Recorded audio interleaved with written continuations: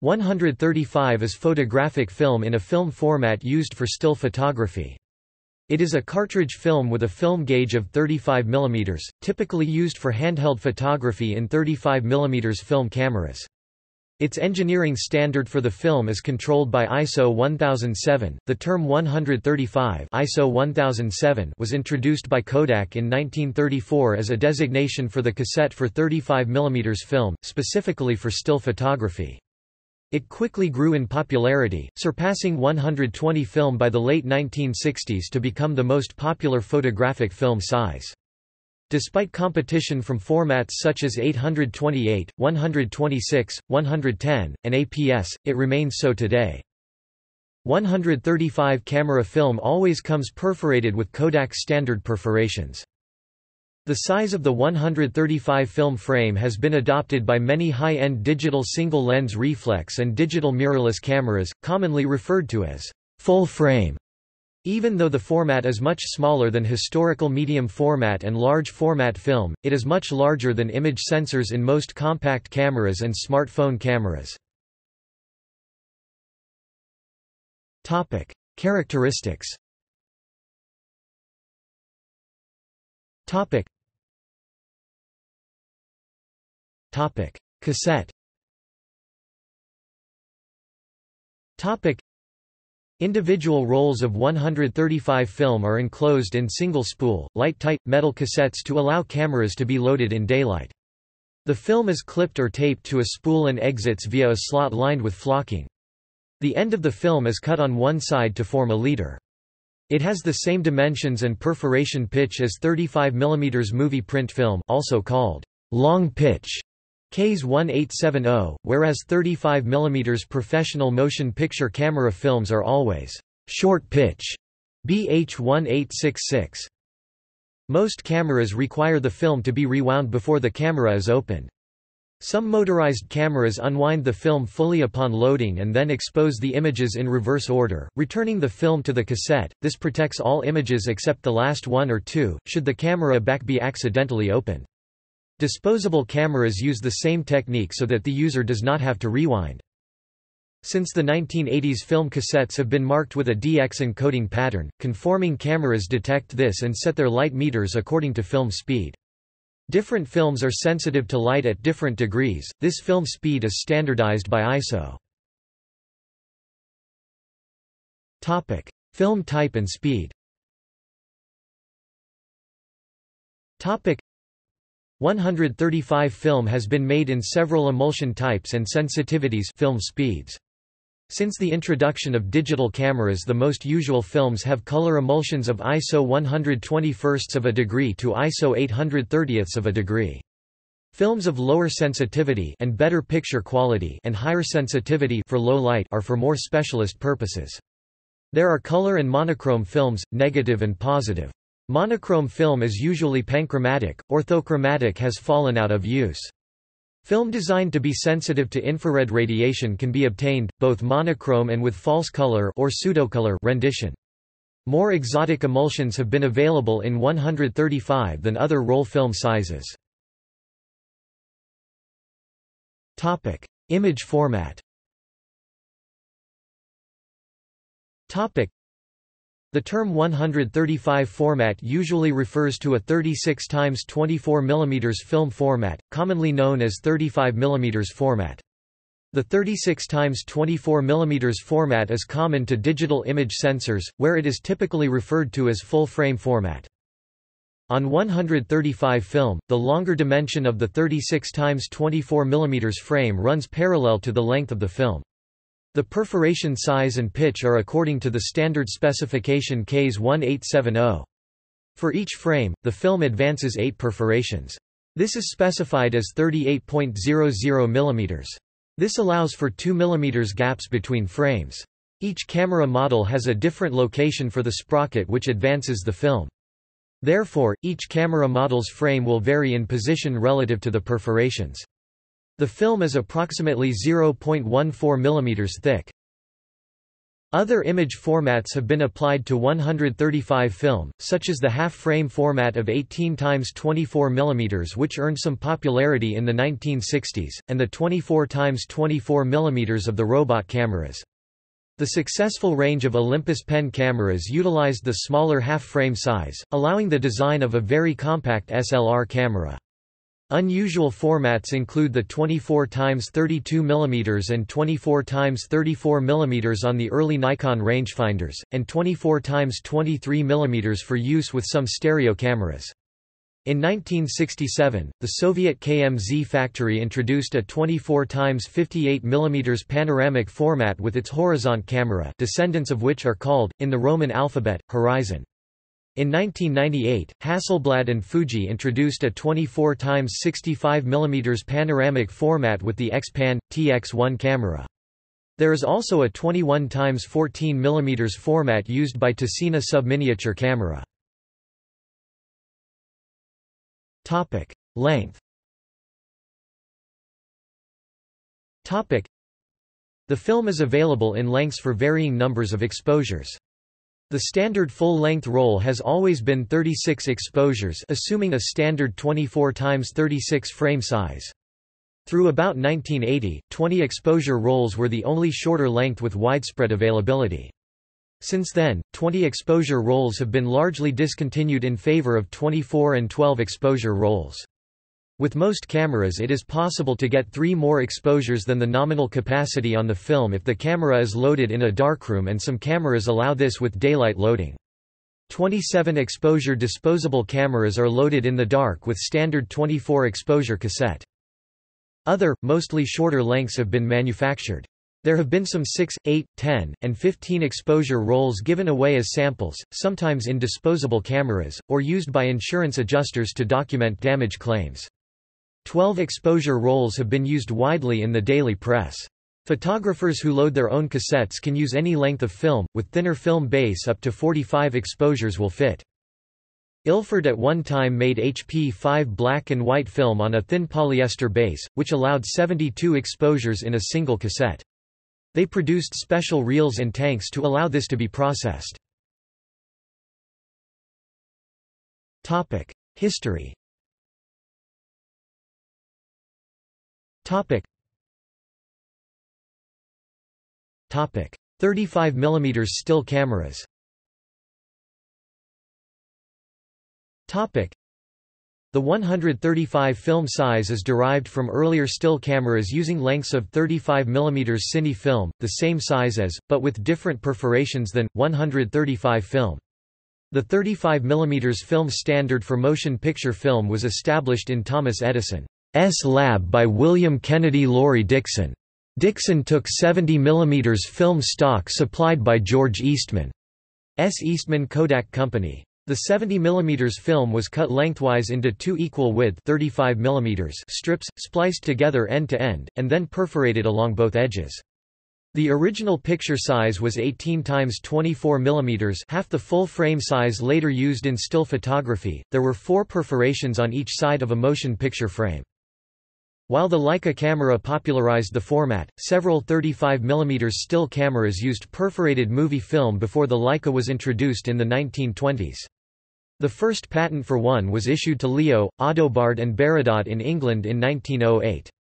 The first full-scale production camera was the Homeos, a stereo camera, produced by Jules Richard in 1913, and was sold until 1920. It took 18 by 24 mm stereo pairs, using two Tessar lenses.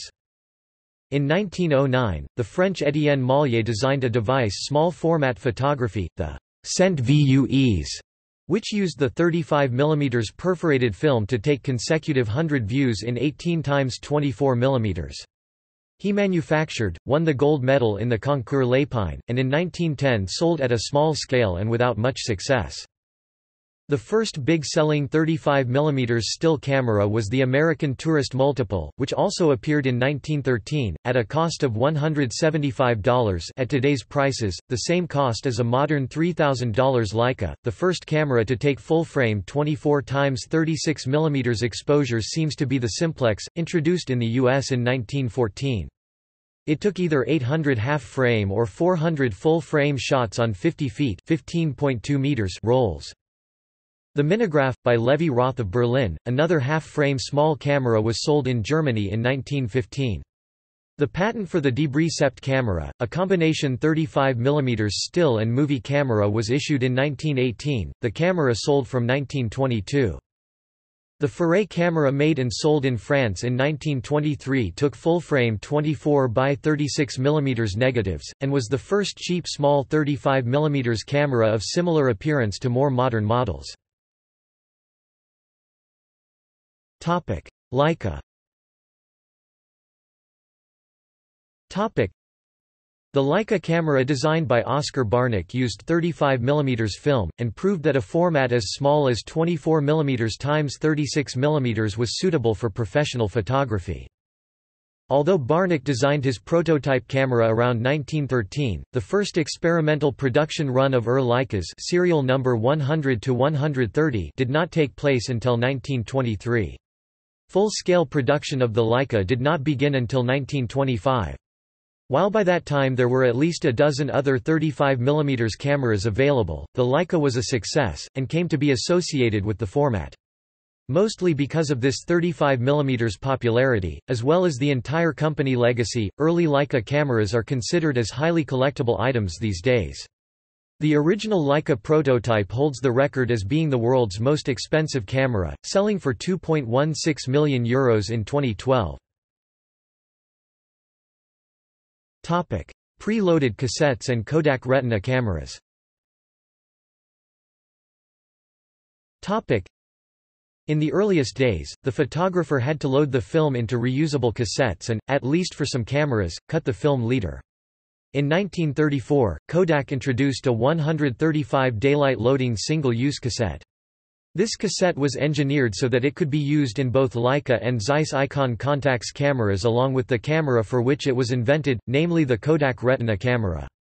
The Retina camera and this daylight loading cassette were the invention of Dr. August Nagel of the Kodak AG Dr. Nagel Werk in Stuttgart. Kodak bought Dr. August Nagel's company in December, 1931, and began marketing the Kodak Retina in the summer of 1934. The first Kodak Retina camera was a TYP 117. The 35 mm Kodak Retina camera line remained in production until 1969. Kodak also introduced a line of American-made cameras that were simpler and more economical than the Retina. Argus, too, made a long-lived range of 35 mm cameras, notably the Argus C3. Kodak launched 135 format Kodachrome color film in 1936. Agfa followed with the introduction of Agfacolor Neue later in the same year. The designations 235 and 435 refer to 35 mm film in daylight loading spools, that could be loaded into Leica or Contax-style reusable cassettes without need of a darkroom. The 335 was a daylight loading spool for the 24 x 23 mm stereo format. The reflex camera Reflex viewfinders, both twin and single lens, had been used with earlier cameras using plates and roll film. The first 35 mm single-lens reflex SLR was the Kine Exacta, introduced in 1936. World War II interrupted development of the type. After the war, Exacta resumed development and the Contax S model with the now familiar pentaprism viewing feature was introduced in 1949. In the 1950s, the SLR also began to be produced in Japan by such companies as Asahi and Miranda. Asahi S. Pentax introduced the instant return mirror, important for the popularity of SLRs. Until then, the viewfinder on an SLR camera blanked as the mirror sprang out of the optical path just before taking the picture, returning when the film was wound on. Nikon SF model, introduced in March 1959, was a system camera that greatly improved the quality and utility of 35 mm format cameras, encouraging professionals especially photojournalists to switch from larger format cameras to the versatile, rugged, and fast SLR design. Numerous other film formats waxed and waned in popularity, but by the 1970s, interchangeable lens SLR cameras and smaller rangefinders, from expensive Leicas to point-and-shoot Pocket cameras, were all using 35 mm film, and manufacturers had proliferated. Color films improved, both for print negatives and reversal slides, while black and white films offered smoother grain and faster speeds than previously available.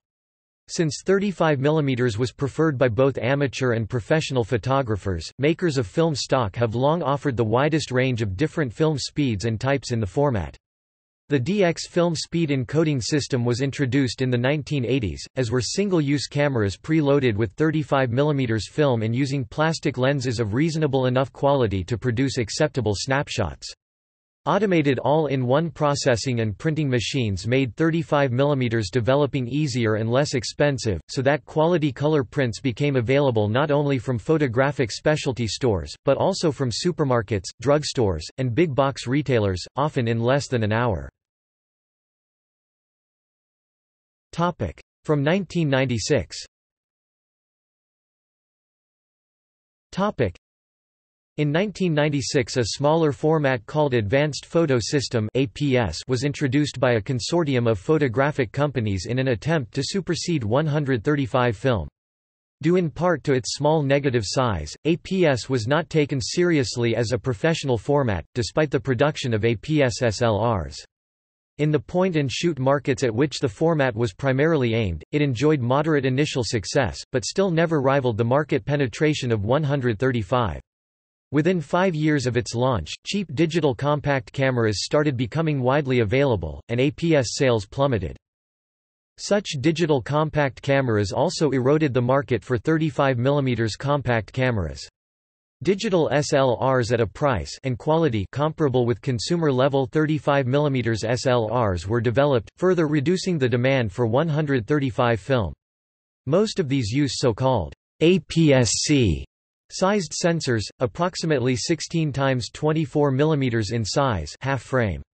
A few digital SLRs use full-frame sensors, the same size as 135 film.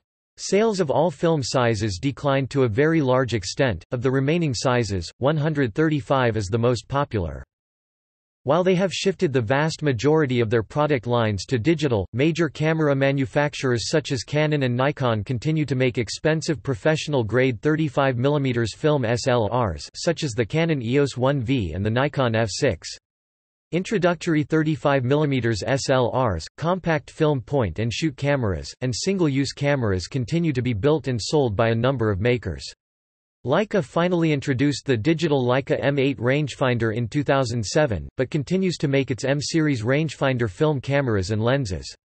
A digital camera back for the Leica R9 SLR camera was discontinued in 2007. On March 25, 2009, Leica discontinued the R9 SLR and R-series lenses. Topic. See also. Topic. List of color film systems. Topic. References. Topic Topic. External links Topic. Media related to 135 film at Wikimedia Commons